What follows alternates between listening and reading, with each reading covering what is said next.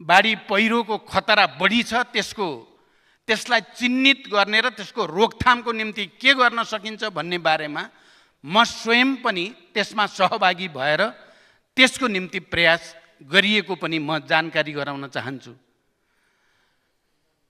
तर पनि यो पटक जुन रूपमा मनसुन निकै आक्रामक रूपमा प्रस्तुत भएको छ र अहिले पनि मौसम पूर्वानुमान अनुसार अर्को हप्तासम्म पनि वर्षा भइराख्ने जो कुरा गरिएको छ त्यसको निम्ति मैले आज मात्रै पनि गृह प्रशासन र सम्बन्धित निकायहरूलाई उच्च सतर्कता र हुन सक्ने जति तयारी गर्न निर्देशन गरेको छु।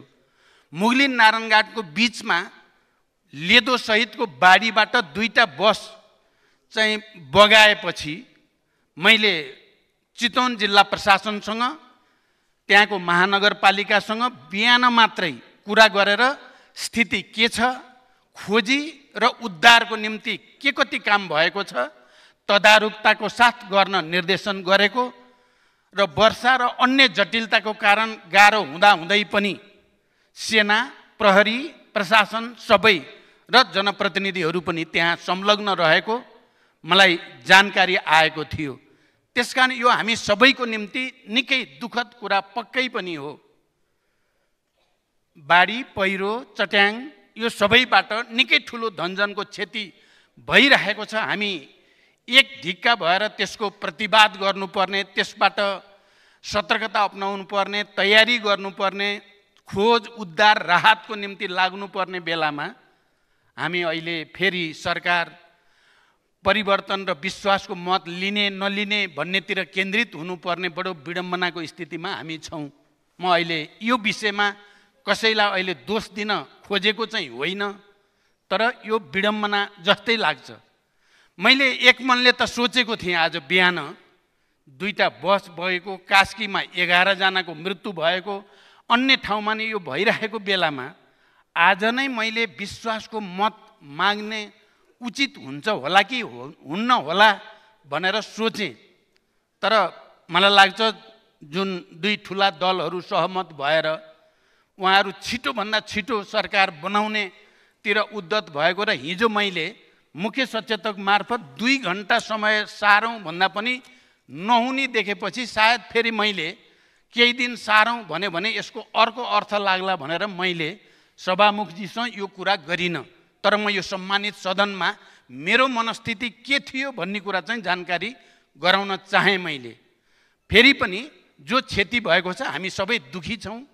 मैले पनि त्यो क्षतिको विवरण थाहा पाउने बित्तिकै प्रधानमन्त्रीको हैसियतले दुःख व्यक्त गरेको छु सम्बन्धित निकायहरूलाई निर्देशित गरेको छु। बिहान बिहानै गृह मन्त्रालयसँग कुरा गरेर खोज र उद्धारको निम्ति सम्पूर्ण शक्ति लगाउन मैले निर्देशित गरेको जानकारी गराउन चाहन्छु। यति भनिसकेपछि अब म मेरो मूल विषयतिर म प्रवेश गर्ने अनुमति चाहन्छु।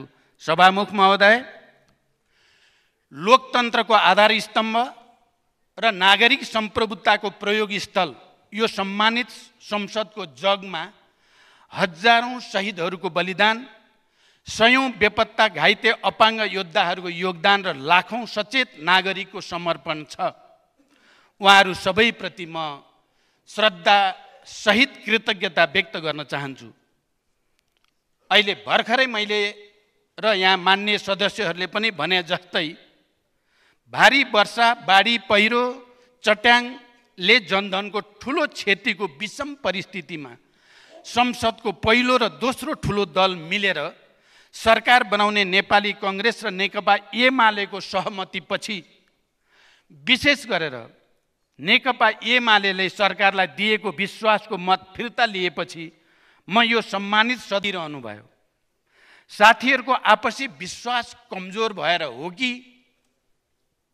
वा षड्यन्त्र आफै सधैँ कमजोर हुने भएर हो तर्सिरहनु भयो।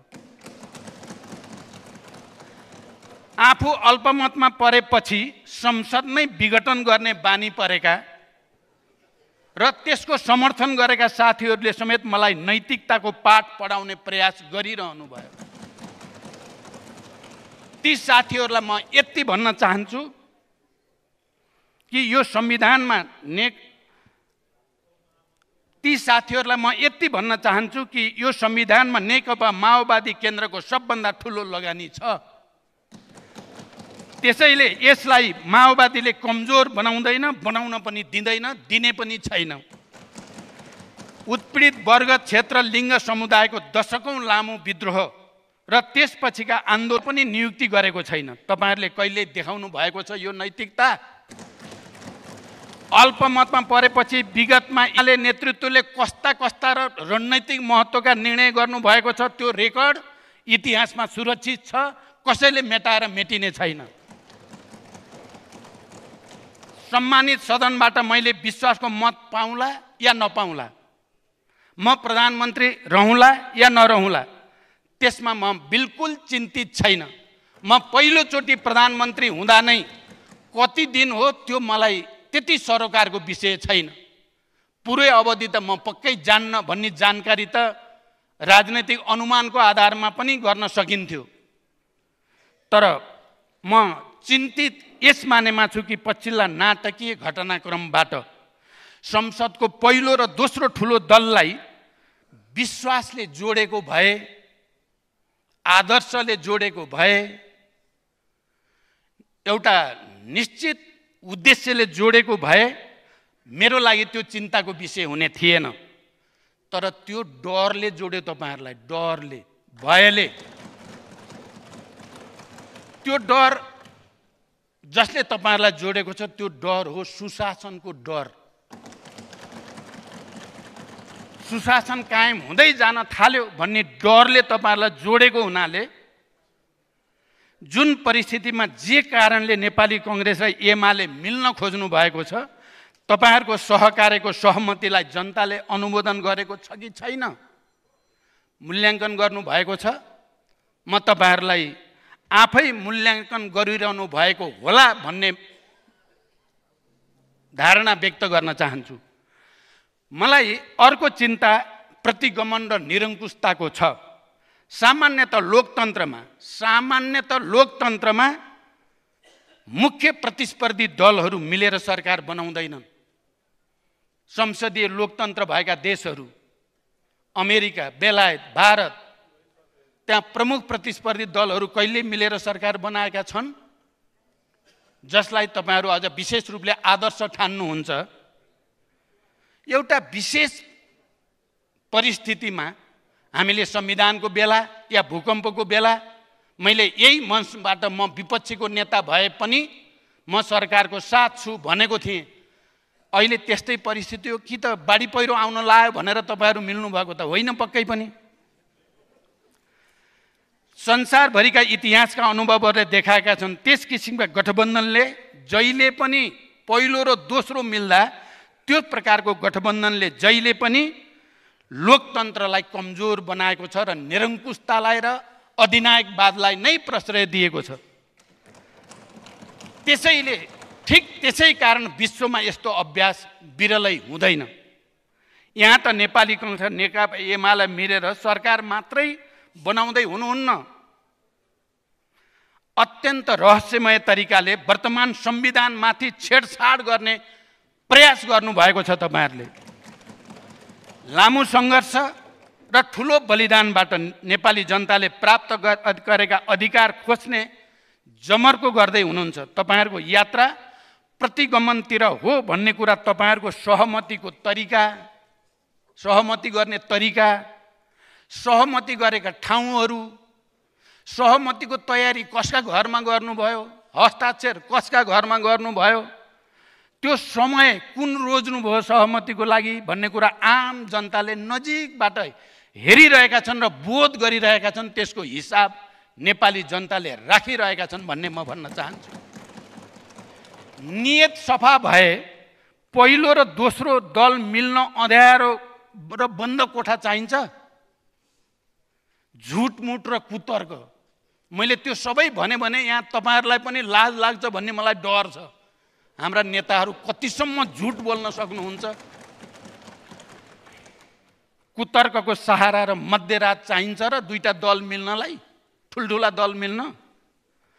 मैले त यो पटक नयाँ समीकरण बन्दै गर्दा तपाईँहरूको अभिव्यक्ति सुनेपछि मिल्नुहोस्। तपाईँहरू दुईवटा मिल्न मन छ भने मिल्नुहोस्। म प्रतिपक्षमा जानेछु त्यही दिन भनेकै थिएँ।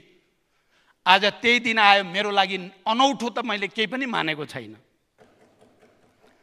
सभामुख महोदय यस सन्दर्भमा म यस सम्मानित सदन समक्ष इतिहासका केही उदाहरण प्रस्तुत गर्न चाहन्छु।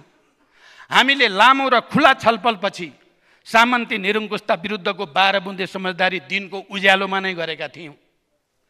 तात्कालीन सात राजनीतिक दलका तर्फबाट नेपाली कङ्ग्रेसका सभापति एवं प्रधानमन्त्री गिरिजाप्रसाद कोइराला र तात्कालीन नेकपा माओवादीका तर्फबाट मैले विस्तृत शान्ति सम्झौतामा हस्ताक्षर पनि संसारलाई नै साक्षी राखेर गरेका थियौँ।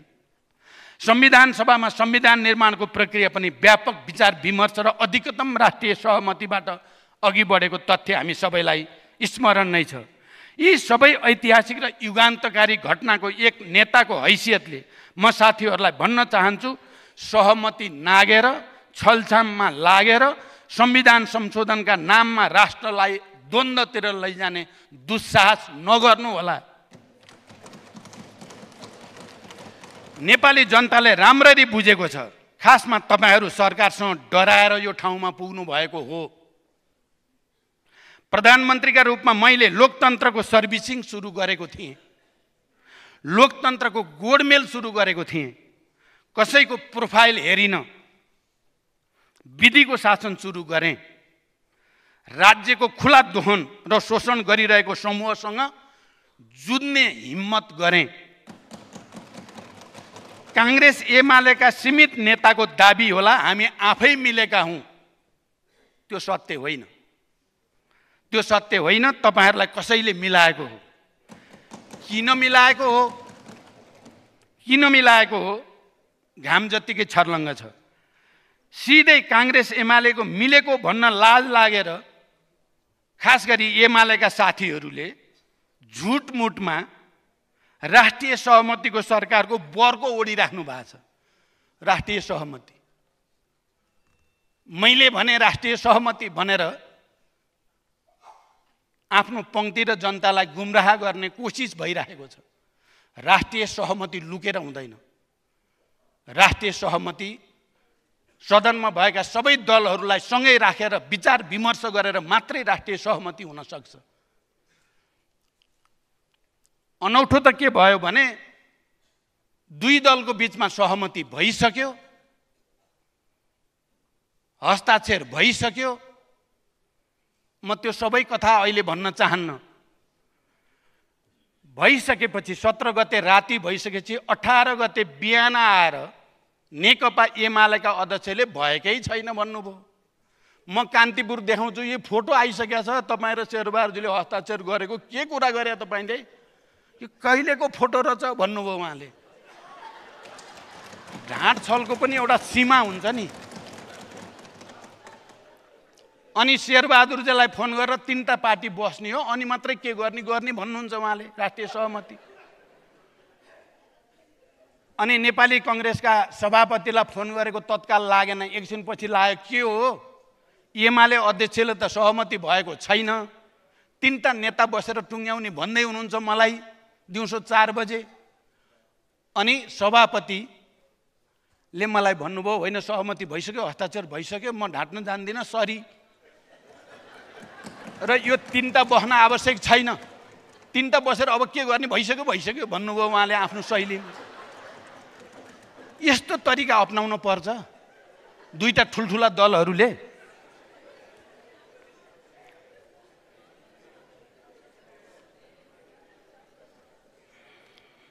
साथीहरू राष्ट्रिय सहमतिको पहल कदमी दिनकै उज्यालोमा जनताको खुला जानकारीमा पनि लिन सकिन्थ्यो। नियत सफा हुन्थ्यो भने राष्ट्रिय सहमतिको विमर्श यही सम्मानित सदनमा सुरु गर्न सकिन्थ्यो। तपाईँहरू विमर्श होइन।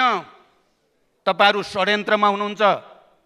तपाईँहरू षड्यन्त्रमा हुनुहुन्छ भन्ने तथ्य तपाईँहरूले सहमति गरेको ठाउँ र समयबाट पुष्टि भइसकेको छ। नेपाली जनताले देखि नै सकेको छ। स्वाभाविक र विवेक सम्मत काम गर्दा त्यो तहको डर किन पैदा भयो? आज जुन समूहले तपाईँहरूलाई जोडेका छन् तिनीहरूको सेवा नै तपाईँहरूको कर्तव्य हुने भएपछि लोकतन्त्रको प्रतिष्ठा र जनसमर्थन अझ बढी गिर्ने छ भन्ने मलाई ठुलो चिन्ता छ। सभामुख महोदय प्रधानमन्त्रीका रूपमा मैले यो सम्मानित सदनमा एउटा नयाँ सङ्कल्प एउटा नयाँ अठोट र नयाँ प्रतिबद्धतासहित विश्वासको मत लिएको थिएँ। संसदको पहिलो सम्बोधनमै मैले प्रतिबद्धता जनाएको थिएँ। निषेध अपमान र प्रतिशोध होइन। सहमति सहकार्य र आपसी विश्वासको राजनीति अगाडि बढाउने छु। त्यति बेलै मैले वामपन्थी र लोकतान्त्रिक शक्तिबीच विश्वासपूर्ण सहकार्यबाट राष्ट्रका समस्याहरूको समाधान खोज्न अपिल गरेको थिएँ। मेरै अग्रसरतामा नेकपा एमाले पृष्ठभूमिका मान्ने सभामुख निर्वाचित भइसकेपछि राष्ट्रपति चाहिँ नेपाली कङ्ग्रेस पृष्ठभूमिका व्यक्तिलाई दिँदा सहकार्यको वातावरण बन्दछ र ठुलो दल दलको हिसाबले शक्तिको न्यायपूर्ण वितरण पनि हुन्छ भनेर मैले नेकपा एमालेका अध्यक्ष र अन्य नेताहरूसँग छलफल सुरु गरेको थिएँ। अहिले रात बिरात अहिले रात बिरात रहस्यमय बन्द कोठाहरूमा राष्ट्रिय सहमतिको कलाविहीन नाटक मञ्चन गरिरहेका एमालेका नेता साथीहरू त्यो बेला राष्ट्रिय सहमति सहकार्य शक्ति सन्तुलनको मेरो प्रस्तावसँग भड्केर सरकारबाटै बाहिरनु भएको होइन र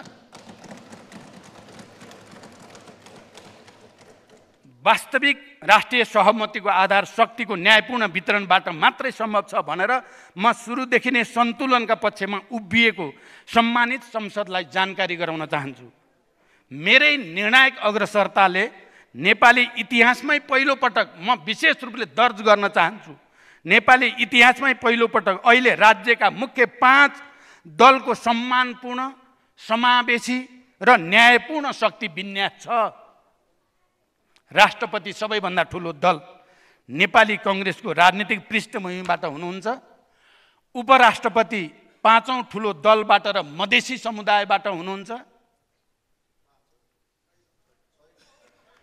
छैटौँ हो भने ठिक छ छैटौँ सभामुख दोस्रो ठुलो राजनीतिक दल नेकपा एमालेको पृष्ठभूमिबाट हुनुहुन्छ। उपसभामुख चौथो ठुलो दल राष्ट्रिय स्वतन्त्र पार्टीको पृष्ठभूमिबाट र जनजाति महिला हुनुहुन्छ। राष्ट्रिय सभाको अध्यक्ष तेस्रो ठुलो पा दल नेकपा माओवादी केन्द्रको पृष्ठभूमिबाट हुनुहुन्छ। अस्थिरताको आरोप सहेर तपाईँहरूले लगाउने गर्नुभएको छ प्रचण्ड अस्थिर। अस्थिरताको आरोप सहेर पनि राजनीतिक भूमिकाहरूको यति विवेकपूर्ण समावेशी सन्तुलनको लागि मेरो अग्रसरतालाई इतिहासले धन्यवाद देला वा गाली। त्यो म इतिहासकै जिम्मा छोड्न चाहन्छु। त्यही व्यक्तिलाई अहिले जालसाजीपूर्ण राष्ट्रिय सहमतिको नैतिक शिक्षा दिन खोज्नु कति न्यायपूर्ण छ? त्यसको जवाफ पनि इतिहासले दिने नै छ। सभामुख महोदय यो सम्मानित संसदमा प्रधानमन्त्रीको रूपमा पहिलो सम्बोधनमा मैले सङ्कल्प गरेको थिएँ जनताको हामीप्रति एक प्रकारको अविश्वास र असन्तोष छ। यो तथ्य लुकाएर होइन त्यसलाई स्वीकार गरेर त्यो अवस्था बदल्न म कृत सङ्कल्पित छु। आज म यो रोस्टमबाट भन्न सक्छु। सरकारले यो प्रयास गर्यो। सरकारले राज्यबाट जनतालाई प्रदान गरिने सेवा प्रहा प्रवाहको सरलीकरणको प्रयास गर्यो। सरकारले विश्वविद्यालयमा मेरिटोक्रेसीको प्रयास गर्यो। सरकारले जनतालाई सुशासनको ठोस अनुभूति दिने प्रयास गर्यो। देशको एउटा विशेष वर्ग कानुनभन्दा माथि छ भन्ने भाष्य र त्यसले जनतामा जागेको असन्तोषलाई सम्बो सम्बोधन गर्न सरकारले अधिकतम प्रयास गर्यो। कुनै यति कुनै यति कुनै ओम्नी कुनै गिरिबन्धुहरूको बोझ र कलङ्क नबोकी पनि प्रधानमन्त्री बन्न सकिन्छ भन्ने रेकर्ड बन्यो। त्यो रेकर्ड बन्यो। यति भूमिकाहरूका कारण यो संसदले विश्वासको मत दिने हो भने मलाई लाग्छ म त्यसको पूर्ण हकदार छु। वस्तु त आज सरकारको सफलता नै वस्तु त मैले बुझेको सरकारको सफलता नै सरकार ढाल्ने विडम्बमा पूर्ण आधार बन्न गयो। हामीले देशलाई सङ्घीय लोकतान्त्रिक गणतन्त्र मात्र भनेनौँ। समाजवाद उन्मुख राष्ट्र निर्माणको सङ्कल्प पनि गऱ्यौँ संविधान मार्फत। यसको केन्द्रीय सिद्धान्त जनताको सम्प्रभुत्ता हुनुपर्ने हो। बाँकी सबै जनताका सेवक हुनुपर्ने हो तर व्यवहारमा त्यो भएन। भिआइपी कल्चर सुरु भयो। एउटा वर्गले सरकारी जग्गा लुटे पनि हुने भयो तस्करी गरे पनि हुने भयो कानुन मिचे पनि हुने भयो। यसले आम जनतामा घृणा र आक्रोश बढाएर लोकतन्त्रमाथि नै प्रश्न उठ्ने अवस्था सृजना हुँदै गयो। त्यो वर्ग यति शक्तिशाली भइसकेको थियो कि त्यसलाई दण्डित गर्ने त परको कुरा प्रश्न गर्ने हैसियत पनि धेरै राजनीतिकहरूले गुमाएको स्थिति देशमा देखा पर्दै गयो। म जनतालाई बुझिने गरी भन्न चाहन्छु सरकार नै ढल्ने जुन परिस्थिति आज बन्दैछ त्यो सरकारले कानुनको पालन गराउने विधिको शासन सुरु गर्ने सुशासनमा सम्झौता नगर्ने अठोट र प्रति प्रतिबद्धताका कारणले बन्न गयो। सरकार परिवर्तनमा संलग्न साथीहरू हेर्नुहोस् परिवर्तनको कारण त्यसै थाहा हुन्छ। सरकारको सुशासन अभियानले हिजोसम्म कानुनमाथि नै शासन गरिरहेको वर्ग सरकारसँग डरायो। त्रिभुवन विश्वविद्यालयको जग्गा खोज्न थालियो एउटा समूह डरायो। ललिता निवासको विस्तृत अनुसन्धान र जग्गा फिर्तीको प्रक्रिया सुरु भयो। अर्को समूह डरायो। भुटानी शरणार्थी प्रकरणको निष्पक्ष अनुसन्धान सुरु भयो। अर्को ठुलै समूह डरायो। बाँसबारीदेखि बाल मन्दिरसम्मका जमिन खोजी हुन थालेपछि यो देशको शक्ति सन्तुलन नै खलबलिन थाल्यो। त्यही वर्गले देशको पहिलो र दोस्रो दल मिलायो। तपाईँहरूलाई अनौठो लाग्ला। यसरी त्यो वर्गले आफ्नो शक्ति देखायो।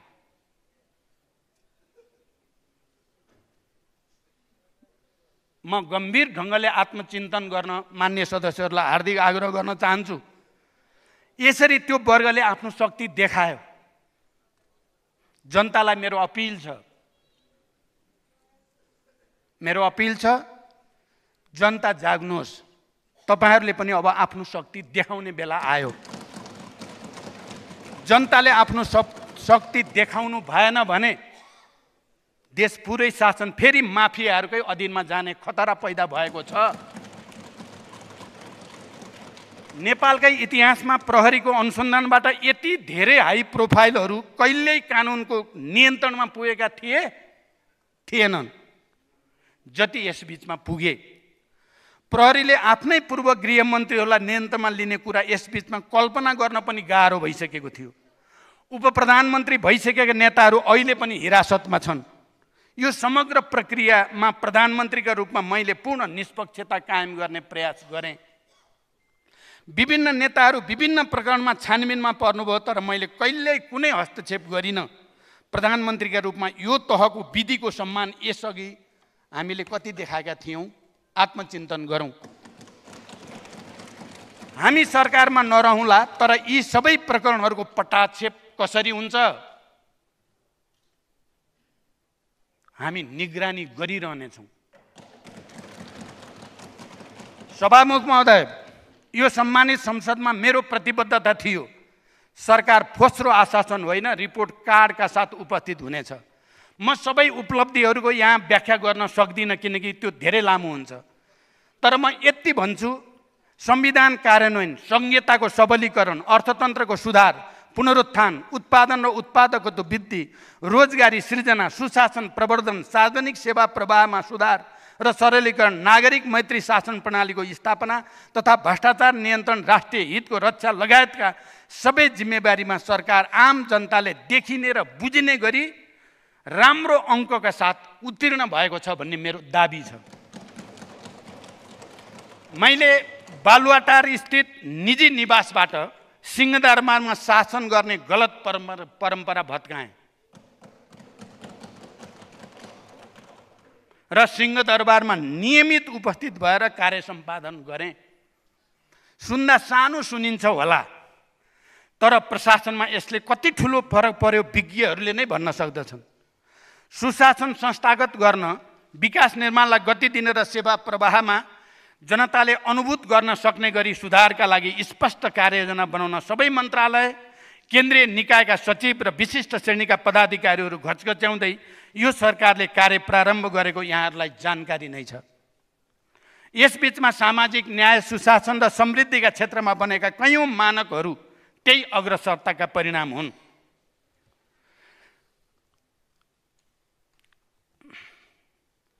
सङ्घ प्रदेश र स्थानीय तहबिचको समन्वय तथा अन्तर सम्बन्ध व्यवस्थित गर्न राष्ट्रिय समन्वय परिषदको बैठक पहिलो पटक मेरो नेतृत्वमा भयो जबकि यो धेरै पहिले हुनुपर्ने थियो।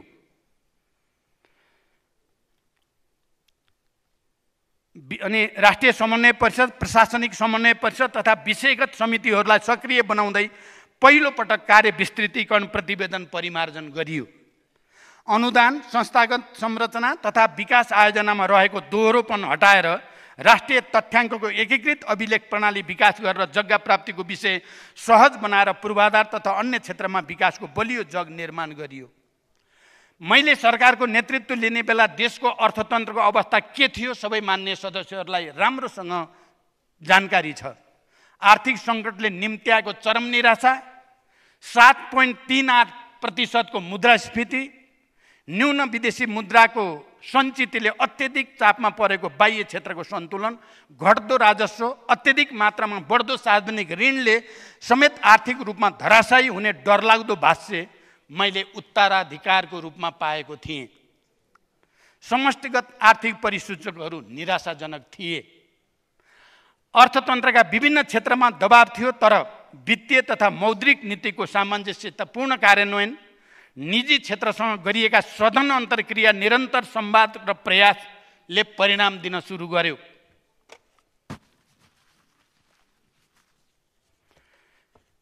अर्थतन्त्रमा देखा परेको तरलता सङ्कुचन उच्च ब्याज दर विदेशी मुद्राको सञ्चितमा परेको चाप पुँजी बजारमा आएको गिरावट र मौद्रिक तथा वित्तीय क्षेत्र लगायतकामा रहेका समस्यालाई नीतिगत तथा कार्यान्वयन तहबाट उचित सम्बोधन गरिएकाले नै समष्टिगत आर्थिक परिसूचकहरू क्रमशः सकारात्मक हुँदै गए। तथ्याङ्कनबाटै थोरै हेर्ने हो भने गत वर्ष आर्थिक वृद्धि दर एक पोइन्ट नौ पाँच प्रतिशत रहेको थियो भने यो वर्ष त्यसको दोब्बर तिन पोइन्ट आठ सात र आगामी आर्थिक वर्ष छ प्रतिशतको लक्ष्य छ। यो लक्ष्य केवल प्रचारको लागि गरिएको होइन। अन्तर्राष्ट्रिय निकाय तथा नेपालकै विज्ञ एवं अर्थशास्त्रीहरूले वास्तविक मानेको प्रक्षेपण हो।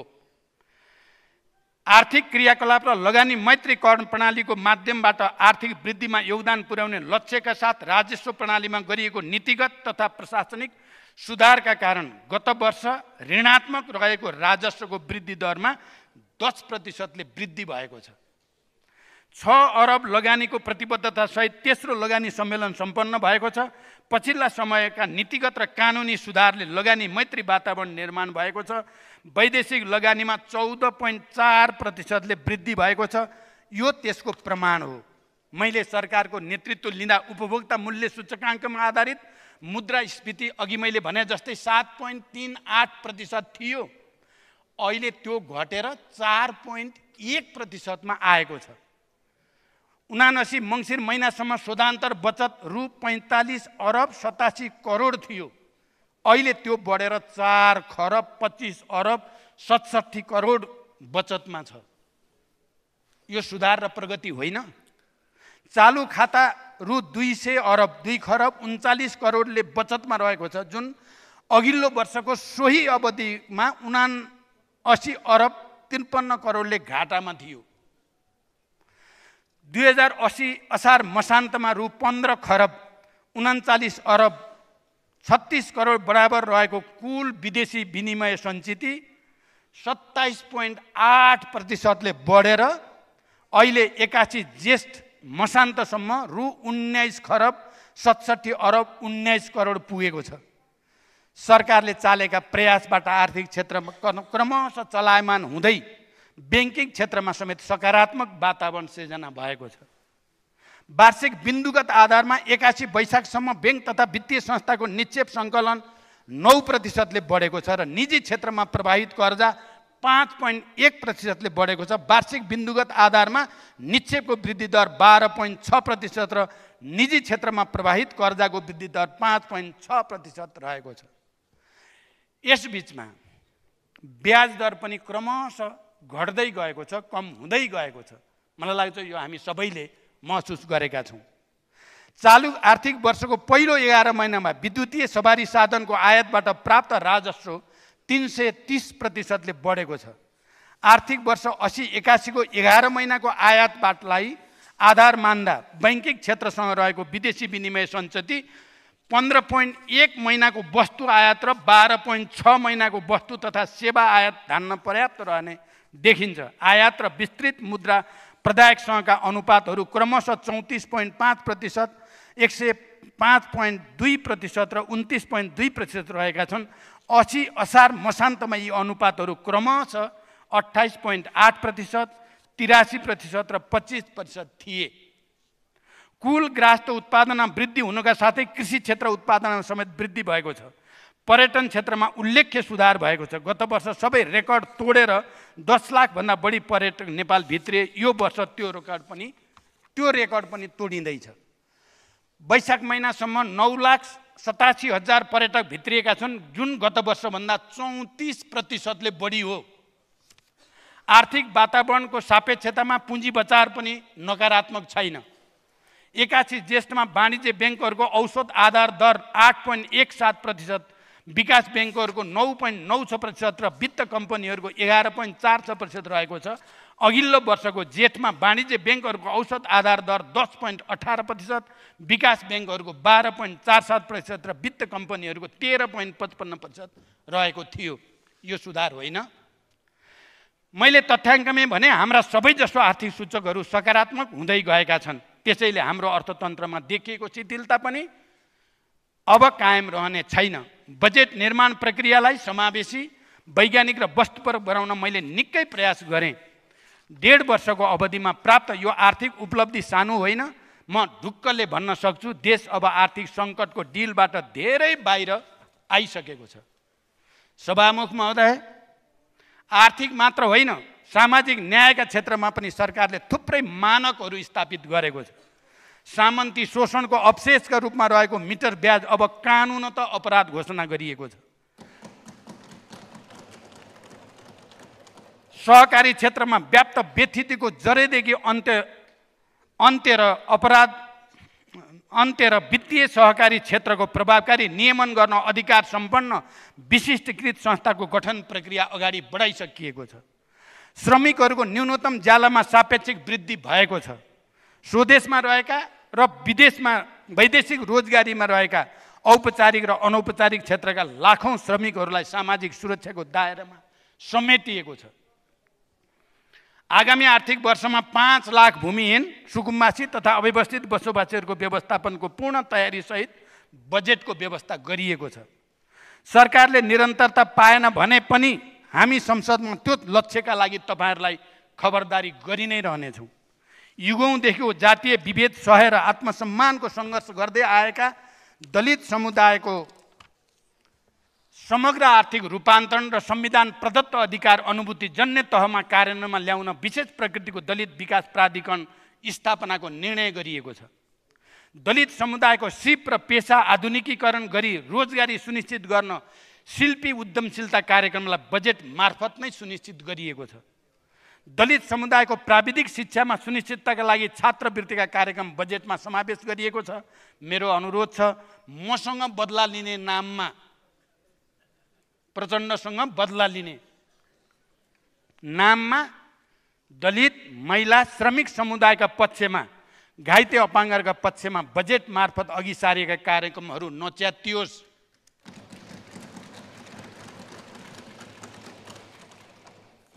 नेपाली नागरिक आमाबाट नेपालमा जन्म भई नेपालमा नै बसोबास गरेको र बाबुको पहिचान हुन नसकी अनागरिक हुनुको पीडा भोगिरहेका हजारौँ नागरिकले नागरिकता पाएका छन् आज।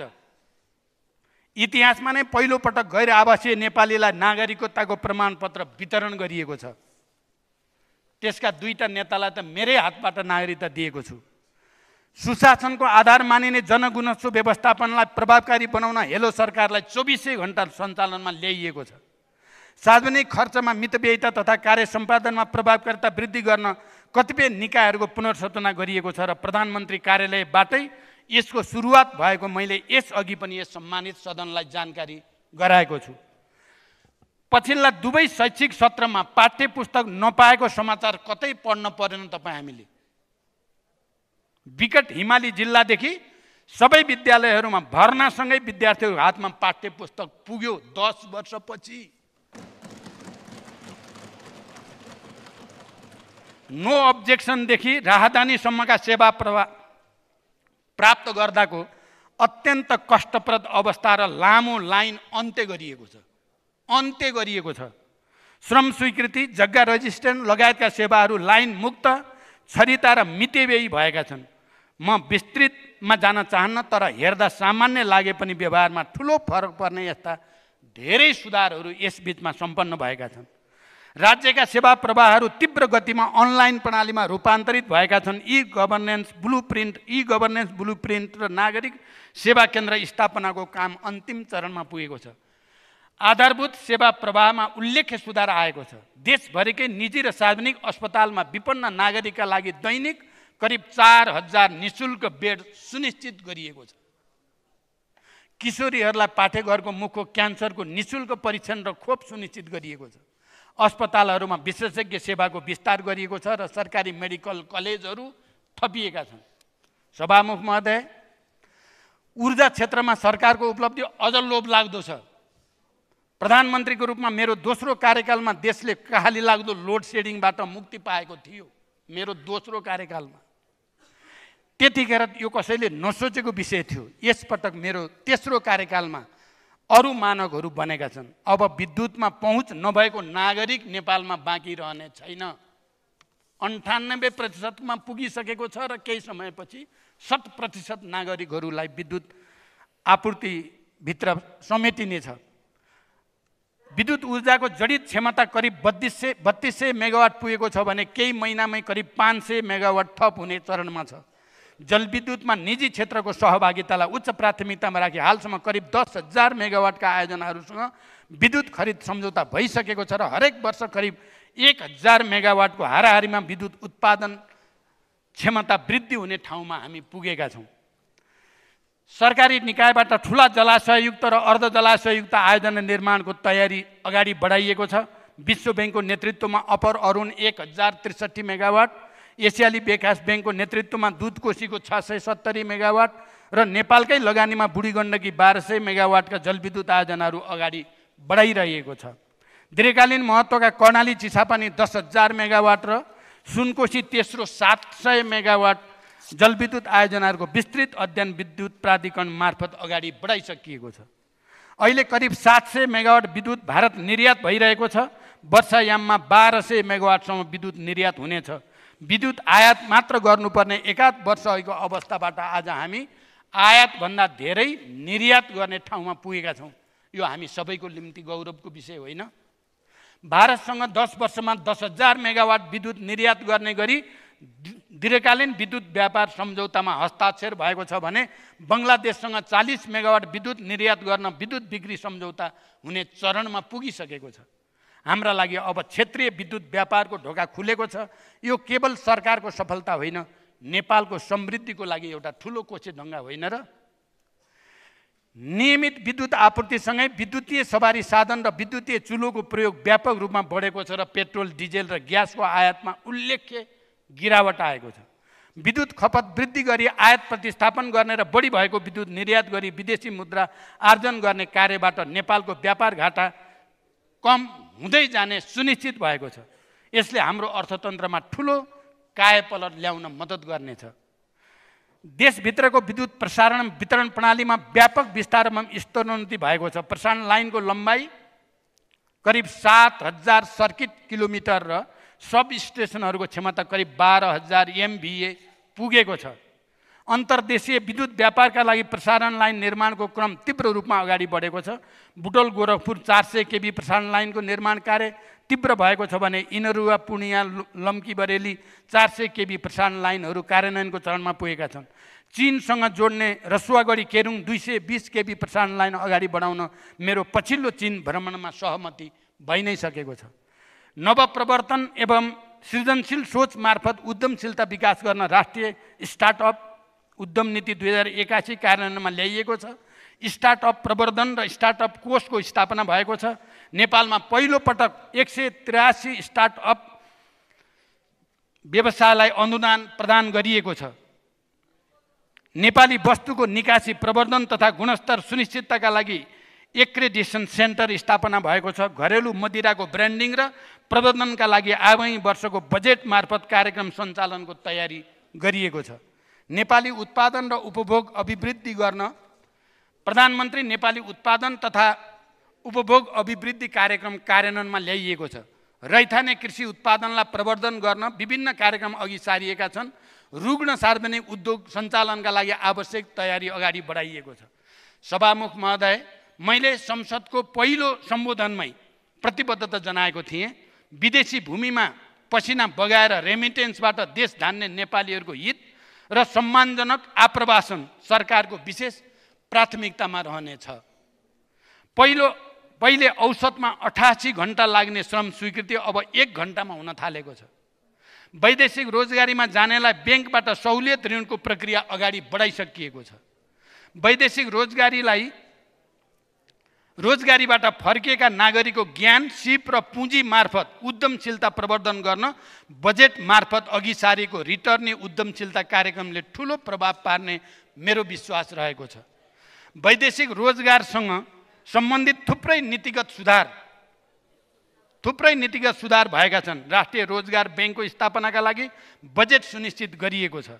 कम्तीमा एक लाख लाख सो उद्यमलाई समर्थन गर्ने गरी सरकारले अध्ययन सुरु गरेको छ र वैदेशिक रोजगारमा जान अन्तिम श्रम स्वीकृति लिएका नागरिकको सङ्ख्या गत वर्षको तुलनामा गत वर्षको तुलनामा सात पोइन्ट तेइस प्रतिशतले घटेको छ।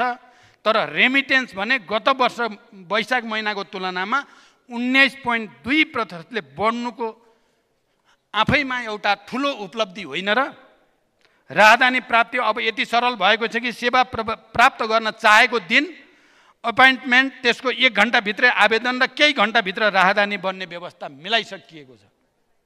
गत वर्ष किसानहरूलाई समयमै चार लाख एक हजार मेट्रिक टन रासायनिक मल बिक्री वितरण गरियो भने यस वर्षका लागि समेत बजेट सुनिश्चित गरी खरिद प्रक्रिया अगाडि बढाइसकिएको छ। रोपाइसँगै धानको न्यूनतम समर्थन मूल्य तोक्ने निर्णयका साथ उखु उत्पादक किसानहरूको बकौता वितरण र बर्ड फ्लू पीडित कृषकहरूलाई राहत प्रदान गरिएको छ। समयमै बिउ र मलको आपूर्तिको सुनिश्चितताले यस वर्ष धान लगायत खाद्यान्न बालीको उत्पादन र उत्पादकत्वमा वृद्धि उल्लेख्य वृद्धि भएको छ। निर्माणाधीन पूर्व पश्चिम र उत्तर दक्षिण लगायतका सडकहरू निर्माणमा देखेका समस्या सहजीकरण गरी निर्माणलाई तीव्रता दिइएको छ। सुनकोशी मरिन डाइभर्सन र नागढुङ्गा नौबिसे सुरुङ मार्गको निर्माणमा ब्रेक थ्रु भएको छ। जलवायु न्याय र अधिकारको पक्षमा नेपालले खेलेको नेतृत्वदायी भूमिका सरकारको अर्को उल्लेखनीय अन्तर्राष्ट्रिय उपलब्धिको रूपमा रहेको छ। संयुक्त राष्ट्रसङ्घका महासचिव एन्टोनियो गुटरेसको ले गर्नुभएको नेपाल भ्रमणले जलवायु परिवर्तनको कारण हामीले भएका समस्या र हामीले पाउनुपर्ने क्षतिपूर्ति दुवै विषयमा अन्तर्राष्ट्रिय समुदायको गहिरो ध्यान आकर्षण गरिएको छ।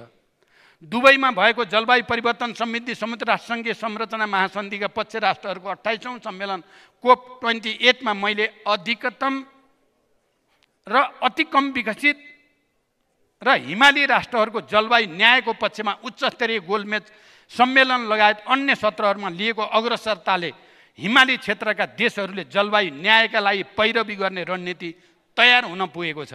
गत जेठमा काठमाडौँमा सम्पन्न हिमाल मानव र जलवायु सम्बन्धी अन्तर्राष्ट्रिय विज्ञहरूको सम्मेलनबाट पनि नेपालको नेतृत्वदायी भूमिका राम्रैसँग स्थापित भएको छ। यस अवधिमा शान्ति प्रक्रियाका बाँकी कार कार्यभार टुङ्ग्याउन मैले अनवरत प्रयत्न गरेँ। राजनीतिक दलहरूसँग संवाद गरेँ। विज्ञ र सरकारवाला सबैसँग परामर्श गरेँ र भिक्टिम पीडितहरूसँग सहमति जुटाउन अनेक बैठकहरू गरिए। निष्कर्षमा पुग्नै लागेको शान्ति प्रक्रियाका बाँकी कार्यलाई कुनै पनि बाहनामा नरोकियोस् भन्ने म यो सम्मानित सदन समक्ष विशेष आग्रह गर्न चाहन्छु। भूकम्प लगायतका विपद व्यवस्थामा समेत सरकारले उच्च तहको जिम्मेवारी प्रदर्शन गरेका यहाँहरू जानकार नै हुनुहुन्छ। गत कार्तिक सात सात गते जाजरकोट केन्द्रबिन्दु भएको भूकम्प र केही भूकम्प गएको र त्यसको केही घन्टामा नै म आफै घटनास्थल पुगेँ।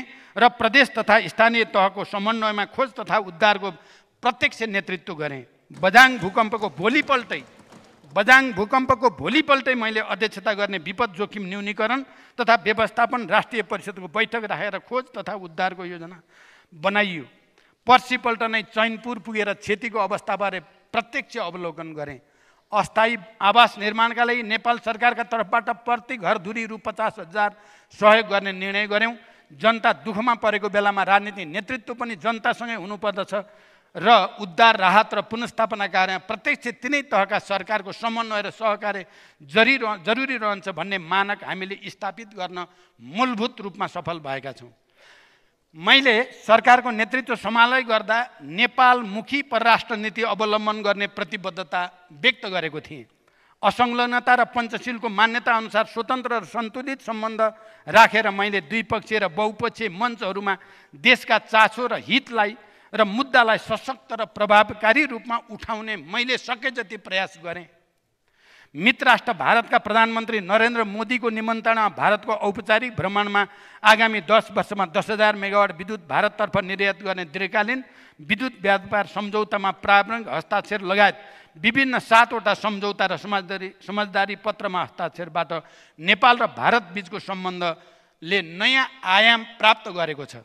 यसै गरी मित्र राष्ट्र चिनको प्रधान चिनका प्रधानमन्त्री ली छियाङको नियन्त्रणामा भएको चिन भ्रमणका क्रममा महामहिम राष्ट्रपति सी जिनपिङसँग द्विपक्षीय भेटघाट तथा वार्ता र समकक्षी ली छियाङसँगको प्रतिनिधि मण्डल स्तरीय द्विपक्षीय वार्ता भई बाह्रवटा समझदारी पत्र तथा फाइटोसिनेटरीसँग सम्बन्धित प्रोटोकलमा हस्ताक्षर भएको स्मरणीय नै छ।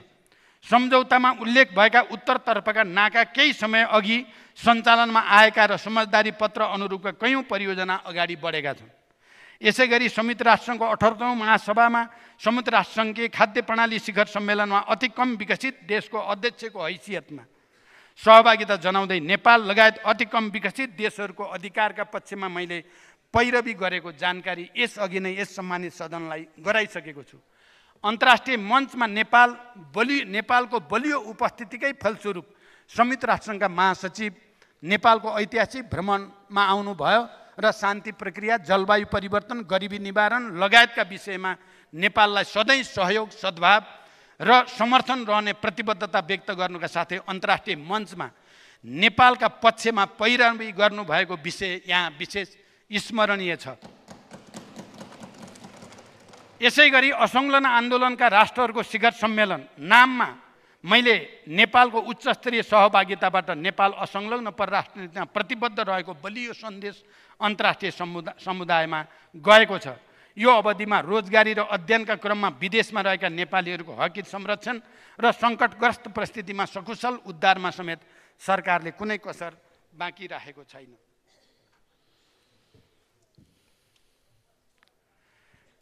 सभामुख महोदय शिक्षा क्षेत्रमा यसपटक सरकारले सार्थक हस्तक्षेप गरेको छ। विश्वविद्यालयहरूमा निकै पछि मेरिटोक्रेसी लागू भएको छ। लामो समयसम्मको दलीयकरणले जताततै फोहोर थुप्रिएको विश्वविद्यालयहरूमा अब सफाइ सुरु भएको छ भन्ने मेरो दाबी छ। भागभन्डा गरेन भनेर मसँग गठबन्धनका नेताहरू रिसाउनु पनि भयो तर म विचलित भइनँ। विश्वविद्यालयको सुधार मैले शिरबाट नै अर्थात् उपकुलपति नियुक्तिबाटै सुरु गरेको छु र निकै छोटो त्यसको परिणाम निकै छिटै त्यसको परिणाम आउन सुरु गरेको छ। विद्यालयमा शिक्षकहरूको दलीय संलग्नतालाई कम गर्ने कुनै पनि पदाधिकारी राजनीतिक हस्तक्षेप बिना योग्यता र उपयुक्तताका आधारमा चयन गर्ने मानक फेरि भत्काइयो भने देश र समाजप्रति ठुलो विश्वासघात हुनेछ। शिक्षालाई रोजगारीसँग जोड्न र सामुदायिक विद्यालयलाई सक्षम र सबल बनाउन अहिले भइरहेका प्रयासहरूलाई कसैले बिथोल्ने छैन भनेर म विश्वास व्यक्त गर्न चाहन्छु। यसबिचमा सीमामा हुने अवैध अवसार पसार नियन्त्रण गर्न सीमा गस्तीलाई व्यापक एवं प्रभावकारी रूपमा प्रचालन गरिएको छ। पछिल्लो तिन महिनामा मात्रै नेपाल प्रहरी र सशस्त्र प्रहरी बल नेपालले एक अरब एकानब्बे करोड पचासी लाख सैँतिस हजार छ सय बराबरको सामान बरामद गरेको छ। नौवटा इन्टरनेट सेवा प्रदायको छानबिनबाट तिन अरब दुई करोड राजस्व सङ्कलन थपिएको छ। फ्रिक्वेन्सी नीति दुई हजार असी निर्माण गरी दुई हजार एकासी साउनदेखि हरेक वर्ष फ्रिक्वेन्सी शुल्क बापत रु पचास करोड थप राजस्व प्राप्त हुने आधार तयार भएको छ।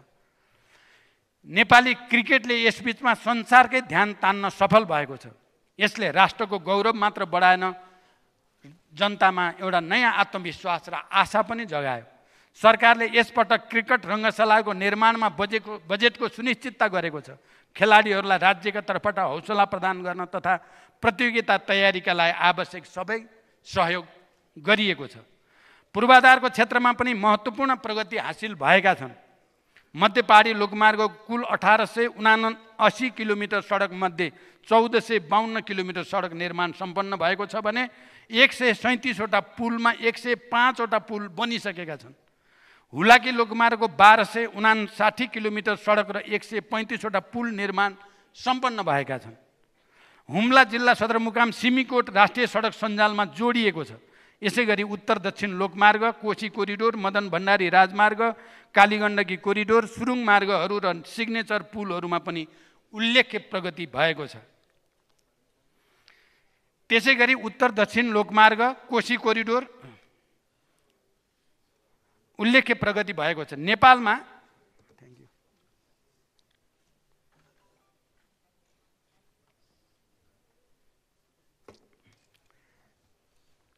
नेपालमा आर्थिक विकासको नयाँ चरण सुरु भएको घोषणासहित पाँच उद्देश्य पाँच प्राथमिकता पा आर्थिक सुधारका पाँच रणनीति र पाँच रूपान्तरणकारी क्षेत्रका कार्यक्रमसहितको बजेट यो सरकारको अर्को उपलब्धि हो। राष्ट्रिय अर्थतन्त्रको सम्भाव्यता विश्लेषणका आधारमा आर्थिक वृद्धिका प्रमुख सम्वाहक क्षेत्र पहिचान गरी उच्च दरको आर्थिक वृद्धि हासिल गर्ने बजेटको प्रतिबद्धता सरकार तलमाथि भए पनि कायमै रहनेछ भन्ने म विश्वास गर्न चाहन्छु। एकीकृत आर्थिक करिडोर विकास डिजिटल अर्थतन्त्रको विस्तार र हरित अर्थतन्त्रको निर्माणको प्रतिबद्धता पनि युगान्तकारी छ। प्रत्येक प्रदेशलाई प्रदेशको सामर्थ्यका आधारमा विशिष्टीकृत आर्थिक केन्द्रका रूपमा विकास गर्न सरकार प्रतिबद्ध छ। आर्थिक वृद्धिका सम्भावनाका क्षेत्रलाई समेटे एकीकृत विकासको अवधारणा अनुरूप नमुना विकास अभियान सञ्चालन गर्न भरतपुर बुटोल पोखरा भरतपुरलाई तिनवटा कोणमा राखी प्रस्तावित त्रिभुज परियोजनाले पनि देशको आर्थिक विकासमा ठुलो प्रभाव पार्नेछ। कर्णाली समृद्धि कार्यक्रम मध्य पहाडी लोकमार्गलाई आर्थिक विकासको कोरिडोरको रूपमा विकास गर्ने नीति कृषि उत्पादक र रोजगार वृद्धिका कार्यक्रमले देशमा सकारात्मक परिवर्तन ल्याउने कुरामा म विश्वस्त छु। मेड इन नेपाल कार्यक्रम स्टार्टअप कार्यक्रम टाकुरा पर्यटन प्रवर्धन हिल स्टेसन। सिप विकास प्रतिष्ठान प्रदेशहरूमा पोलिटेक्निकल इन्स्टिच्युट सूचना प्रविधि दशक मार्फत आइटी दशक मार्फत। आगामी दस वर्षभित्र अरबौँ राजस्व र हजारौँ रोजगारी सिर्जना गर्ने कार्यक्रम शिल्पी उद्यमशीलता कार्यक्रम कृषिमा लगानी दशक कार्यक्रम कृषि उत्पादन र फलफुलमा आत्मनिर्भरताका कार्यक्रम विद्युत उत्पादन विद्युतीकरण र विद्युत व्यापारका क्षेत्रमा गरिएका कार्यक्रम रैथाने उत्पादनमा जोड मेगा फुड पार्क र स्थानीय उत्पादनलाई आपूर्ति श्रृङ्खलामा जोड्ने स्वदेशी माट र सङ्कलन केन्द्र लगायतका उत्पादन उत्पादक रोजगारी सृजनाका लागि बजेट मार्फत प्रस्तावित कार्यक्रम आर्थिक विकासका निम्ति असाध्य दूरगामी महत्त्वका परियोजना र कार्यक्रमहरू हुन्। सभामुख महोदय सरकारको उपलब्धिहरूको यो सूची धेरै लामो छ म योभन्दा बढी जान चाहन्न। अहिले मैले भनेकै उपलब्धिहरूले पनि शासनको सबै मोर्चामा सरकारको सफलता भने प्रमाणित हुन्छ। तैपनि विभिन्न निराधार आरोप लगाएर संसदका दुई प्रमुख प्रतिस्पर्धी पार्टी बडो रहस्यमय तरिकाले आज एक ठाउँमा उभिनु भएको छ। कतै स्थायित्वको नारा दिनुभएको छ स्थायित्वको लागि। कतै संविधान संसदको छिर्के हान्नु भएको छ गर्नु के भएको भन्ने आधिकारिक प्रमाण र हस्ताक्षर बाहिर ल्याउनु भएकै छैन।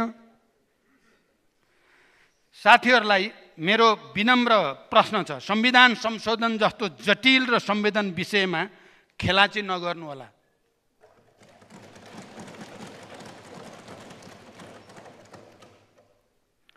तपाईँहरूको जस्तै तरिकाले पाउँछ जनताको स्वीकार्यता। राष्ट्रिय सभाको सबभन्दा ठुलो दल माओवादी केन्द्र त्यसलाई किनारा लगाएर गर्नुहुन्छ संविधान संशोधन।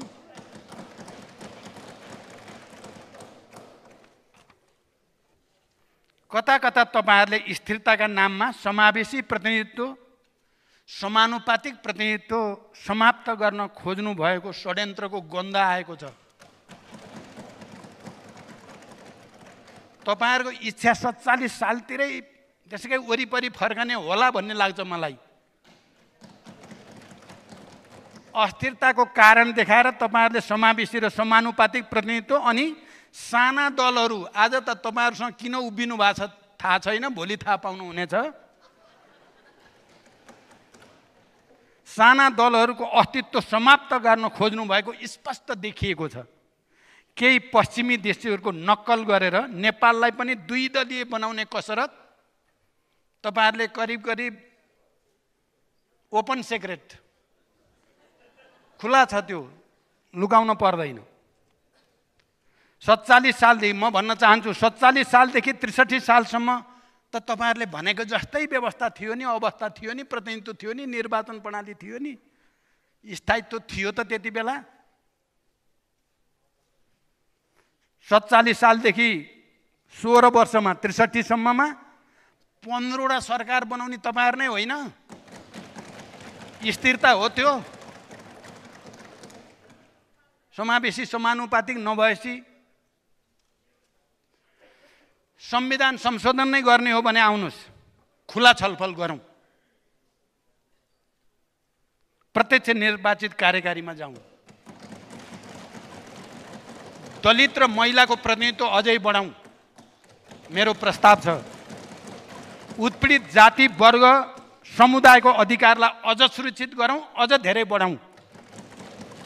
विपन्न वर्गको राज्य संरचनामा पहुँच बढाएर लैजाउँ। महिला उत्पीडित वर्ग जाति र क्षेत्रको सम्मानजनक प्रतिनिधित्व यो संविधानको आत्मा हो। यसलाई खोसेर फेरि महिला दलित आदिवासी जनजाति मधेसी थारू मुस्लिम लगायतका धार्मिक अल्पसङ्ख्यकलाई पहिले जस्तै राज्यका निकायमा प्रतिनिधित्वविहीन बनाउने षड्यन्त्र अब नेपालमा किमार्थ सफल हुने छैन। हिजो जसको प्रतिनिधित्व हिजो जसको प्रतिनिधित्व केवल प्रतीकात्मक र निरङ्कुश शासकहरूको सामन्तहरूको दयामा आधारित थियो आज त्यो सुनिश्चित र अधिकारपूर्ण भएको छ। हिजो महिला प्रतिनिधित्व राज्य र दलहरूको विमर्शको विषयसम्म थिएन। आज केन्द्र र प्रदेशमा तेत्तिस प्रतिशत र स्थानीय तहमा चालिस प्रतिशत प्रतिनिधित्व संविधानबाट नै सुनिश्चित गरिएको छ। तपाईँहरूलाई अहिले बाडुल्की लगाइरहे होला। बाडुल्की लगाइरहे होला। सत्तालिस सालको संविधान पछिका संसदहरूको समावेशिता सम्झाउँ म तपाईँहरूलाई। अडचालिस सालको आम निर्वाचन पछिको संसदमा दलितको प्रतिनिधित्व कति थियो? दलितको त्यति बेला कति थियो? जिरो पोइन्ट चार आठ। जम्मा एकजना। एकाउन्न सालमा शून्य दलित छँदै थिएन। यहाँ दलित मान्ने सदस्यहरू। राम्रोसँग चिन्तन मनन गर्नुहोला स्थिति। शून्य छप्पन्न सालको आम निर्वाचनमा त्यहाँ पनि शून्य एउटा पनि दलित थिएन। विशेष गरी म ने नेपाली काङ्ग्रेस ने एमालेका दलित समुदायका मान्यहरूलाई सोध्न चाहन्छु के त्यतै फर्किने हो अब हामी? तयार हो तपाईँहरू? साथीहरूलाई हेक्का रहोस्। त्रिसठी सालमा माओवादी अन्तरिम व्यवस्थापिका आएपछि दलितको प्रतिनिधित्व शून्यबाट सिधै चार पोइन्ट आठ छ प्रतिशतमा बढ्यो सोह्रजनामा पुग्यो। चौसठीको पहिलो संविधान सभामा जहाँ माओवादी देशको सबभन्दा ठुलो राजनीतिक दलको रूपमा आयो त्यति बेला इतिहासमा नै एउटा रेकर्ड बन्यो। अहिलेसम्मकै सबभन्दा धेरै एकाउन्नजना दलितहरू संविधान सभामा प्रतिनिधित्व हुन पुग्यो। दोस्रो संविधानमा छ पोइन्ट आठ प्रतिशत त्यसपछि चौहत्तर सालको प्रतिनिधि सभामा छ प्रतिशत। जनसङ्ख्याको करिब तेह्र प्रतिशत हिस्सा ओगट्ने दलितले प्रतिनिधित्वमा जम्मा पाँच पोइन्ट आठ प्रतिशत हिस्सा पाउँदा पनि पोलेको छ तपाईँहरूलाई। संविधान संशोधन गर्ने भए दलितको जनसङ्ख्या अनुसारको अनिवार्य प्रतिनिधित्व गरौँ। यो माओवादीको प्रस्ताव भयो तपाईँहरूलाई। तेह्र प्रतिशत दिउँ दलितलाई। के तपाईँहरू तयार हुनुहुन्छ? अडचालिस सालको तपाईँहरूको पवित्र संसदमा महिलाको प्रतिनिधित्व कति थियो? तिन पोइन्ट नौ प्रतिशत। एकाउन्नको आम निर्वाचनमा त्यो घटेर त्यो घटेर तिन पोइन्ट चार प्रतिशत। सबभन्दा सुधारिएको भनेको छप्पन्नको प्रतिनिधि सभामा पनि महिलाको प्रतिनिधित्व पाँच प्रतिशत। आधा आकाश ओगट्ने महिलाको राज्यसभा त्यति मात्रै हुनुपर्ने हो त हिस्सेदारी? त्रिसठी सालको अन्तरिम व्यवस्थापन जब माओवादीको प्रवेश भयो महिलाको प्रतिनिधित्व पाँच प्रतिशतबाट बढेर रेकर्ड तोडेर अठाइस पोइन्ट नौ पाँच उन्तिस प्रतिशत पुग्यो। यो रिभोल्युसनरी चेन्ज होइन त यो। महिलाको लागि दलितहरूको लागि रिभोल्युसन भने यो रिभोल्युसनरी होइन र यो क्रान्तिकारी। चौसठीको पहिलो संविधान सभा महिलाको प्रतिनिधित्व तेत्तिस पोइन्ट सात आठ प्रतिशत पुग्यो। दोस्रो संविधान सभामा उन्तिस पोइन्ट दुई आठ र नयाँ संविधानले तेत्तिस र चा चालिस प्रतिशत केन्द्र र स्थानीय तहमा हामीले नै सुनिश्चित गऱ्यौँ। यो हिस्सेदारी महिला दलित र उत्पीडितहरूको यो हिस्सेदारी प्रत्यक्ष निर्वाचनबाट हुनेवाला छैन। यसको करिब नब्बे प्रतिशत हिस्सा समावेशी र समानुपातिक प्रतिनिधित्वको हो। काङ्ग्रेस एमालेका महिला मान्यजीहरू तपाईँहरू संविधान संशोधन गरेर फेरि तिन प्रतिशतमै फर्किन तयार हुन खोज्नु भएको हो। विचार गर्नु होला म कुनै आवेगमा बोलिराखेका छैन। इतिहासलाई पछाडि फर्काउन खोजिँदैछ। त्यो मान्न तयार छ त देशको महिला आन्दोलन? म माओवादी केन्द्रको अध्यक्षका हैसियतले चुनौती दिन्छु लाखौँ वीरङ्गनाहरूले बन्दुक उठाएर प्राप्त गरेको। सीमित अधिकार पनि उल्ट्याएर आधा आकाशलाई फेरि निगाहमा फर्काउने कोसिस कदापि सफल हुन दिइने छैन। संविधान संशोधन नै गर्ने हो भने यो संशोधनमा मेरो अर्को प्रस्ताव छ आधा आकाश भाषणमा मात्रै नगरौँ प्रतिनिधित्व नै सुनिश्चित गरौँ। हामी पुरुषहरूले के लछारेका छौँ र अहिलेसम्म? महिलाहरूलाई अविश्वास गर्ने? राज्यका हरेक तहमा महिलाको पचास प्रतिशत प्रतिनिधित्व सुनिश्चित हुने गरी संविधान संशोधन गरौँ।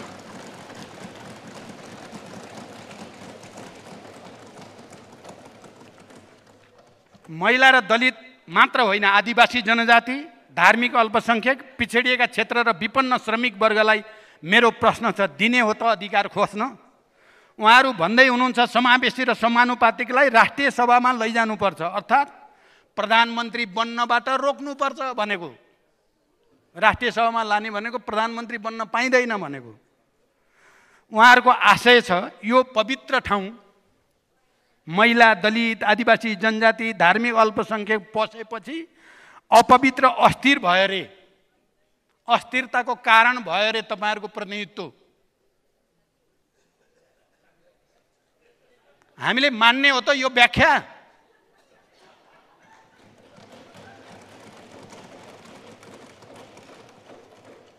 विशेष गरी कङ्ग्रेस कङ्ग्रेस र एमालेका महिला दलित आदिवासी जनजाति मान्यहरूलाई म सोध्न चाहन्छु तपाईँहरूलाई स्वीकार्य छ र यस्तो व्याख्या? अभिजातहरूले अभिजातहरूले स्थिरताको नक्कली तर्क गरेर तपाईँहरूको आत्मसम्मान र प्रतिनिधित्व खोज्न खोज्दैछन्। मैले अघि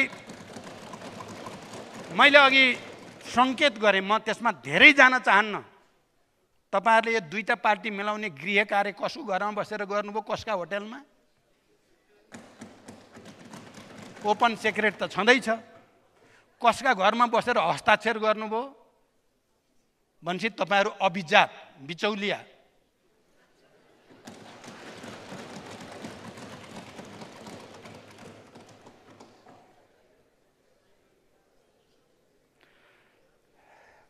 यो मान्ने छैन। मेरो विचारमा महिला दलित आदिवासी जनजाति मान्यजीहरूलाई यो मान्ने हुने छैन। सङ्ख्या पुगोस् या सङ्ख्या नपुगोस्। माओवादी या आइपिएको सङ्ख्याले मात्रै त होइन।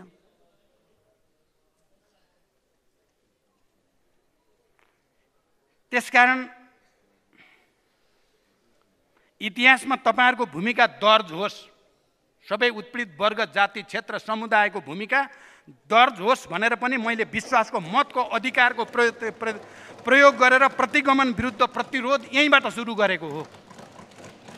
तपाईँहरूलाई लाग्यो त होला त्यो त्यत्रो सङ्ख्या भइसक्यो दुई तिहाई के गरे होला प्रचण्डले राजीनामा नदिएर।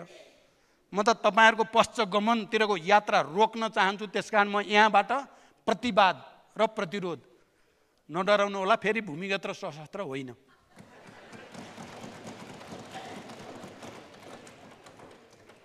त्यस कारण यो सङ्ख्याको पहल होइन मलाई थाहा छ सङ्ख्या के हुन्छ भन्ने राम्रोसँग। यो प्रतिवाद र प्रतिरोधको पहल हो। साथ दिने नदिने तपाईँहरूको विवेकको विषय हो तर मलाई जनताप्रति भरोसा छ र जनताको साथ अनिवार्य रूपमा प्राप्त हुनेछ। यो विश्वास म व्यक्त गर्न चाहन्छु। सभामुख महोदय मलाई केही साथीहरूले निरन्तर लगाइरहेको अस्थिरताको आरोपबारे पनि म आफ्नो पक्ष यस सम्मानित सदनमा राख्न चाहन्छु। निर्वाचन पूर्व नै हामी गठबन्धन बनाएर जनताको बिचमा गएका थियौँ। यहाँ लुकाउनु पर्ने ढाँट्नु पर्ने केही कुरा छैन। तर सरकार बन्ने बेला राजनीतिक तह नेतृत्व तहमा भएको सहमति पालना नभएपछिको अवस्थामा म एमाले राष्ट्रिय स्वतन्त्र पार्टी राप्रपा र जसपा लगायतका दलहरूको समर्थनमा प्रधानमन्त्री बनेको हुँ। प्रधानमन्त्रीका रूपमा म राष्ट्रिय सहमति र सहकार्यतिर अग्रसर थिएँ। मैले पहिले पनि भनिसकेँ सभामुख दोस्रो ठुलो दलबाट भएपछि संसदको सबभन्दा ठुलो दल नेपाली कङ्ग्रेसलाई राष्ट्रपति दिँदा जनमतको सम्मान हुन्छ र शक्तिको पनि न्यायपूर्ण वितरण हुन्छ भन्ने मेरो यही अडानमा असहमत असहमत भएर एमाले सरकार र गठबन्धन बाहिरिएपछि फेरि निर्वाचन पूर्वकै गठबन्धन बन्ने अवस्था आएको हो यसमा अस्थिरताको आरोप न विवेकपूर्ण छ न तर्कसङ्गत छ। मैले समन्वय सहमति सबै शक्तिको न्यायचित वितरण गरौँ मुख्य ठाउँमा भन्दा म अस्थिर। निर्वाचन पूर्वकै गठबन्धन अर्थात् नेपाली कङ्ग्रेस सहितको सत्ता समीकरणमा म प्रधानमन्त्रीका रूपमा त सुरक्षित थिएँ। तर मेरो छटपट्टि अनुसारको समन्वय भएन। सरकार असफल भएको त होइन तर मेरो अपेक्षा अनुसार गति पनि लिएन। सरकारले एक वर्ष पुरा गरेको अवसरमा जनताका नाममा गरेको सम्बोधनमा मैले स्पष्टै भनेको थिएँ देशमा सकारात्मक आशा र परिवर्तन ल्याउन अझै धेरै गर्न बाँकी छ। काङ्ग्रेसको शीर्ष नेतृत्वसँग असमझदारी भएर होइन। यो कुरा पनि साफ छ असमझदारी भएर होइन। मैले पहिले पनि संसदमा त्यो कुरा राखिसकेको छु। वास्तवमा तेज गतिमा सरकार चलाएर लोकतन्त्रप्रति जनताको भरोसा बढाउने हुटुटी र अलिअलि वामपन्थी आन्दोलनको भावुक बहकाउ।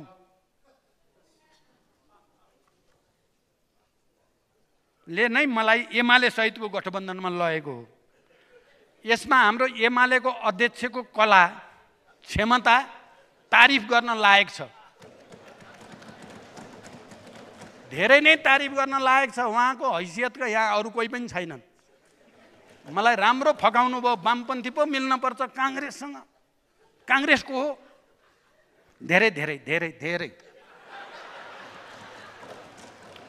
अब म मान्छे यस्तै प्रचण्ड यस्तै छ तपाईँहरूले चिन्नुभएको छ म त अलिअलि सेन्टिमेन्टल भावुक मिठो गरी भनेपछि होला त नि भनेर विश्वास गर्ने।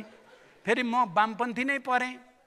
कम्युनिस्ट एकता गरौँ न तर पश्चिम बङ्गाल जस्तो भइन्छ अर्को चुनावमा त हामी। भनेपछि त हो भन्ने लाग्यो मलाई त।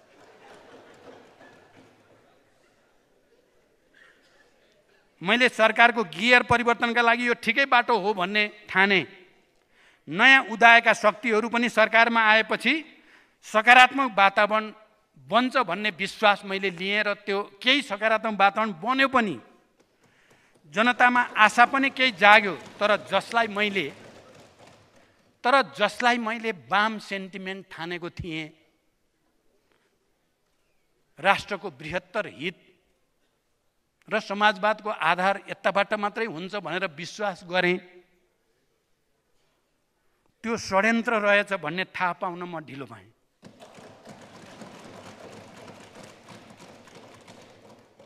केही मान्छेहरू कहिल्यै पनि कुण्ठा र प्रतिशोधबाट निस्कन सक्दैनन् भनेर मैले हिसाबै गर्न सकिनँ। समयले मान्छेलाई सुधार्छ भन्ने विश्वास गरेँ। म लामा लामा मिठा भरोसापूर्ण सम्बन्धहरू सम्बन्धहरूबाट लट्ठ्याइएँ अल्मलिएँ। स्वर्ग र नर्कसँगै जाने। यो स्वर्ग र नर्कसँगै जाने कुरा सोह्र गतेको हो।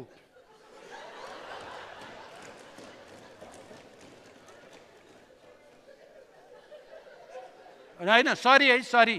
स्वरको होइन सत्रको सत्रको बिहान स्वर्ग र नर्कसँगै जाने।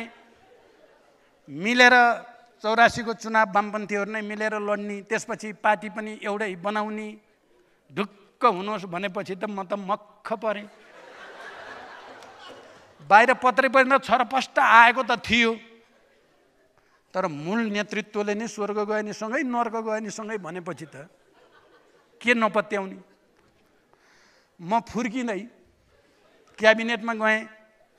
क्याबिनेटमा उप प्रधानमन्त्री मन्त्रीजी सबैलाई शङ्का थियो ल है धोका हुन लाग्छ भइसक्यो अरे। लास्ट हस्ताक्षरको तयारी भएको छ त भन्नुभएको थियो। तपाईँहरू बुझ्नु न मेरो चार घन्टा कुरा गरेर आएको छु। एमाले अध्यक्षसँग कस्तो राम्रो कुरा भएको छ। ढुक्कसँग काम गर्नुहोस् केही हुँदैन भने मैले। कति लाटो म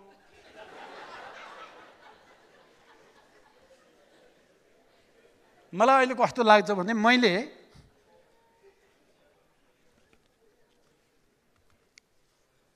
नेपाली कङ्ग्रेससँग गठबन्धन छोडेर एमालेको प्रस्तावमा प्रधानमन्त्री हुँदा नेपाली कङ्ग्रेसको अध्यक्षको मनोविज्ञान मनस्थिति मैले जे अनुभूत गरेँ आज मेरो उहाँको जस्तै स्थिति छ। आज मेरो त्यो स्थिति छ।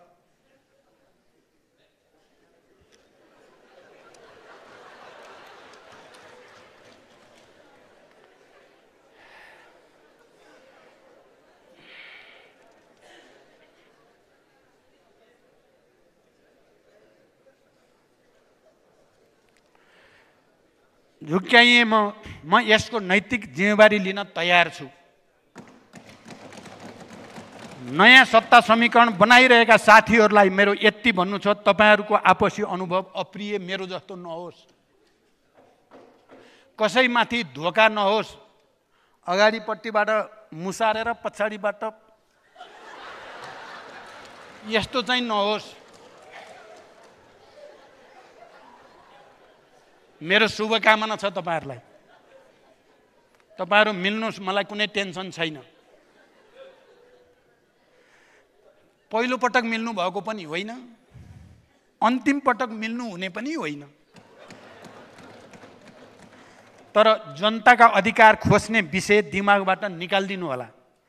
अधिकार उपभोग गरिसकेको जनता उपलब्धि जनताको उपलब्धि खोज्न सजिलो हुने छैन।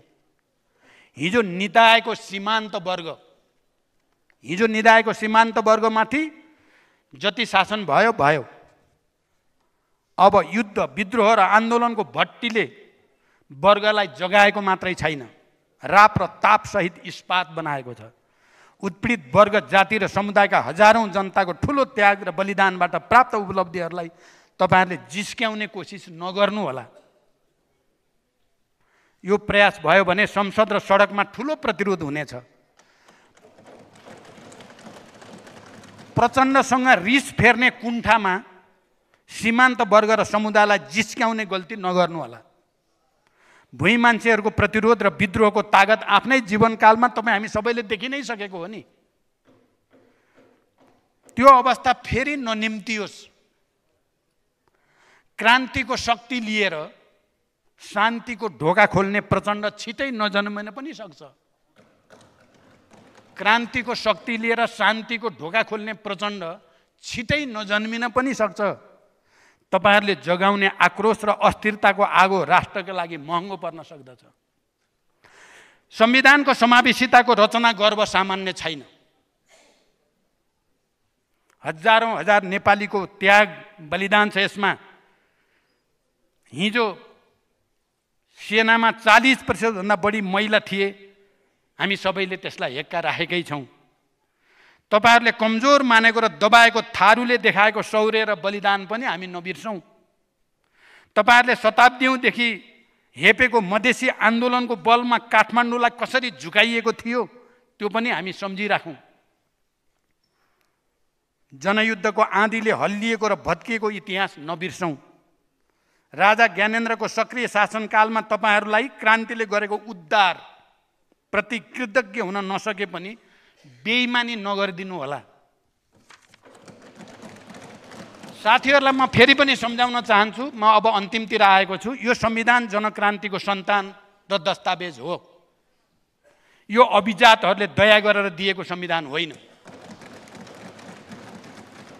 जनताले लडेर बनाएको संविधान हो। यसको प्रस्तावनामा नै हामी नेपाली जनता सार्वभौ हामी सार्वभौम नेपाली जनता पहिलोपटक संविधानमा भनिएको छ। यसको गरिमा महत्त्व ऐतिहासिकता र दुर्गामितालाई हामी कसैले नि अपमान र अवमूल्यन नगर। यसको रचना गर्भमा क्रान्ति छ विद्रोह छ शान्तिपूर्ण आन्दोलन छ सीमान्तल वर्गले गरेका आन्दोलनहरूको ताप छ यसको तार सात राजनीतिक दल र माओवादी बिचको बाह्र बुन्दे सहमतिसँग जोडिन्छ जसका हामी हिस्सेदार हौँ। त्यही सहमतिका बलमा शान्ति प्रक्रिया सुरु भएको हो र त्यति ठुलो परिवर्तन हामीले खुला छलफलबाटै सम्पन्न गरेका हौँ। गिरिजा प्रसाद कोइराला र मैले शान्ति सम्झौतामा हस्ताक्षर यसै हलमा दिनकै उज्यालोमा जनताका बिचमा गरेका हो र अब पनि केही प्रश्न छन् भने उज्यालोमै छलफल गरौँ। साथीहरू षड्यन्त्र नगरौँ। नयाँ पुराना जातीय क्षेत्रीय दलहरूलाई मेरो केही प्रश्न छन्। जनमत नागरिक उन्मुक्ति लगायत पार्टीलाई गर्वमै सिद्ध्याउने कसरत त भइरहेको छैन। पार्टी हुनको लागि पाँच प्रतिशत बढाएर दस प्रतिशत। चाहिने बन्दा के हुन्छ स्थिति हामी सबैले पक्कै सोचेकै हौँला। मलाई लाग्छ तपाईँहरूलाई त्यो मन्जुर हुने छैन। आज भोट जतासुकै हाल्नुहोस् मलाई कुनै टेन्सन छैन। के तपाईँलाई त्यो मन्जुर हुनेछ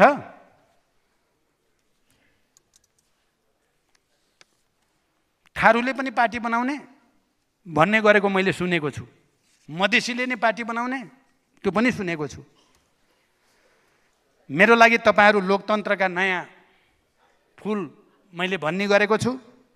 काङ्ग्रेस एमालेका लागि अस्थिरताका कारक। यो हो सिद्धान्तको फरक। मलाई विश्वासको मत दिनुहोस् नदिनुहोस् केही छैन। तर यति भनिदिनुहोस् तपाईँहरू कुन सिद्धान्तको पक्षमा उभिनुहुन्छ? तपाईँहरू अस्थिरताको कारक हो कि लोकतन्त्रको फुल? म काङ्ग्रेस एमालेका साथीहरूलाई पनि सहकार्यको बधाईसहित यति भन्न चाहन्छु तपाईँहरू संविधान मिच्नतिर नलाग्नु होला नयाँ सरकार पनि संविधान नमिची बनाउनु होला काङ्ग्रेसका साथीहरूलाई बेग्लै मेरो अनुरोध छ। कृपया संसद चाहिँ बचाउनु दुधी पटक संसद विघटन गरिँदा संविधान च्यात्ने दुस्साहस गर्दा तपाईँ हामीसँगै लडेर बचाएको हो भन्ने कुराको महत्त्वलाई नबिर्सिनु होला। संविधान नकुल्चेसम्म बहादुर भइँदैन भन्ने मान्यता बोकेका साथीहरूले संसद नै निल्ने प्रयास गर्न सक्छन्। हिजो हामी मिलेर जोगाएका हौँ अब पनि जोगाउनु पर्छ र आफू पनि जोगिनु पर्दछ। सभामुख महोदय डेढ वर्षको यो अवधिमा संसदबाट पाएको निरन्तर साथ र सहयोगका लागि म सबै मान्य सदस्यहरूप्रति आभार व्यक्त गर्न चाहन्छु।